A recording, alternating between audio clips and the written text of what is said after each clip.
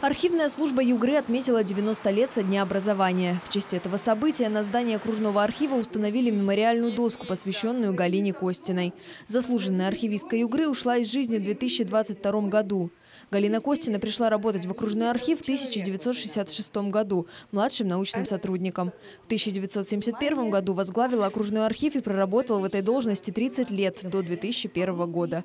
При ее деятельности в окружном архиве создали систему государственного учета архивных документов, сформировали фонды личного происхождения. Архив получил новое здание. Галина Костина награждена почетными грамотами и благодарственными письмами, орденом «Знак почета», медалями «Маршал Советского Союза» Жуков и ветеран ветеран труда. Открытие мемориальной доски завершилось встречей, посвященной памяти заслуженной архивистки Югры.